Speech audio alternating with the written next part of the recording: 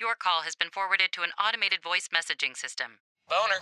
Is not available. Hey, Benji, uh, I just got to the airport. I really hope you left already. Oh, oh, God, you made it. What's up, cuz? I got some good shit from when we land. Wait, you're not like taking weed into Poland, are you? Oh, yeah. Nobody, Benji? they don't give a shit about that stuff. Mm. I think they telling very you. much do give a shit about Oh, that yeah, yeah, yeah. We get high in backseats of cars. Davers and I are cousins. We used to be joined at the hip. Our grandma was from here, so Dave arranged for us to join this geriatric Polish tour with you fine people. That's the way we get by. I really needed this man. I know that it's tough for you to leave your boy. The way we get by. I don't really have anything going on. I know it's been a tough few months for you, so. I also want to say that I know you're not the most comfortable person with people. I'm not. No. Does it look real? Well, they're twice the size of you in metal, so. You sure you don't want to come up here? I'm good. Can you take my picture? That's what I'm talking about. Marcia! Thank you, David. But it's amazing that you're here, putting yourself out there so boldly for me. Thank you, man. Let's go smoke a joint.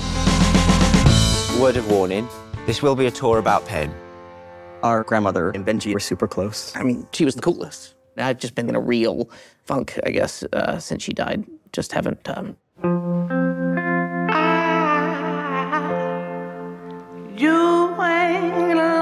You're looking back at the horrors of your family history. We completely cut ourselves off from anyone else's true pain. Why are you doing this? Oh man, you used to like feel everything.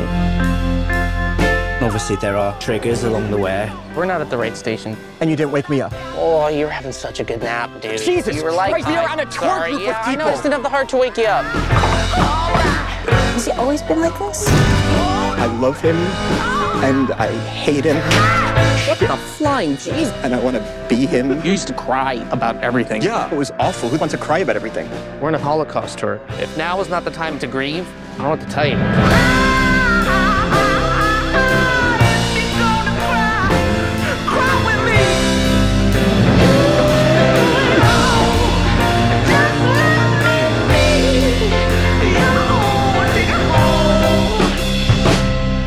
do